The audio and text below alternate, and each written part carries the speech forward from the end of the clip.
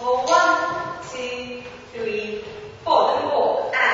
One, two, three, four. One, two, three. Hello, I'm from Strictly Come Dancing. I'm delighted to be supporting Jubilee Hour by teaching a groom and bride a first dance for the wedding. Jubilee Hour is a great way of encouraging people to help others in the community and I hope all of you get involved with the great cause. One, two,